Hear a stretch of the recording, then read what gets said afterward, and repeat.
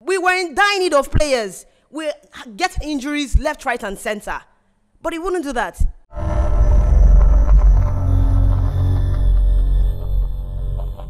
It's a loss at Wembley in the Community Shield. Um, you were indifferent about the result because you think it's you know it's a glorified you know friendly when it comes to the Community Shield. So what are your thoughts on the performance?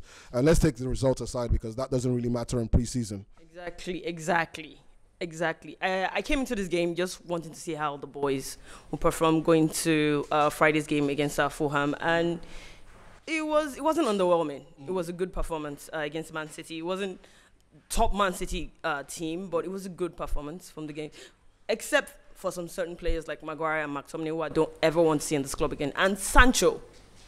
Sancho, please leave. I'm done with him. I'm done. Next question, please. Why? Tell me why you're done with Sancho. It's obvious. There's talent there. There's talent there. There's Surely. no, there's talent there. Obviously, there's talent there. But last season, it was obvious that this guy didn't really want to be at the club because we were in need of players last season. But this guy would not apologize to the manager, would not apolo- apolo- uh, apologize to the football club and the fans.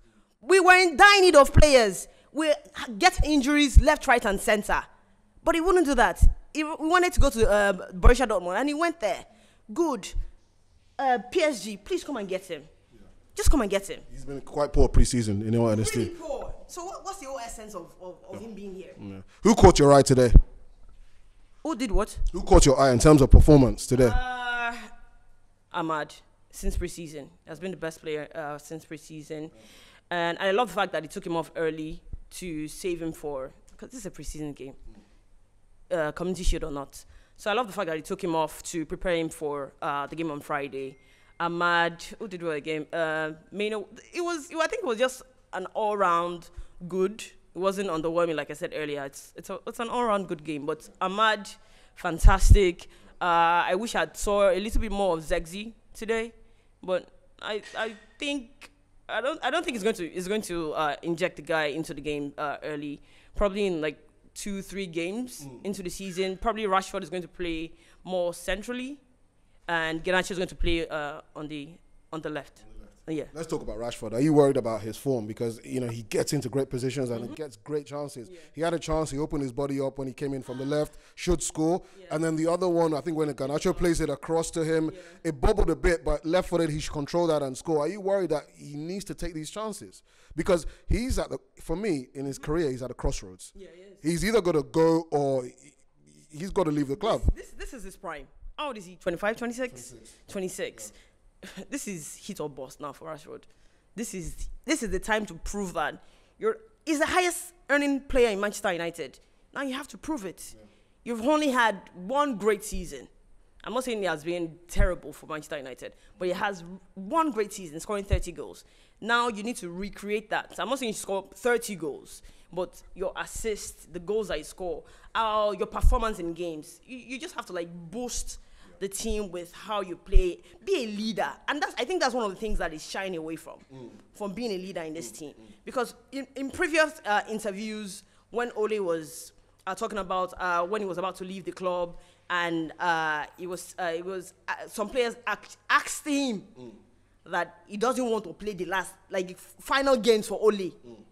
Ole was saying, okay, who are the players that actually want to play this game? Because in his own mind, he thinks that okay, this is the end. Um, I'm probably leaving, and I'm sure Rashford is one of the people that's like, no, I, I don't think I want to be involved in it because he's, af- he's afraid. Mm.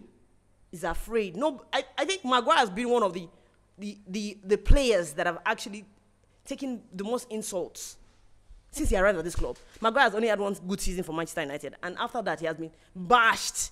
I understand Rashford. Fans go overboard mm-hmm. in terms of like criticizing the players, but you can't shy away from it. Mm. That's what is actually going to build you. Getting back this season and Rashford scoring like 20 league goals, that would be amazing for us. That will take us to another level as a club. So I'll expect Rashford to turn up the season. That's going to be a good thing for him and a good thing for the club. Yeah. Listen, if you're if Man United are gonna have a good season, you got to keep players fit, right?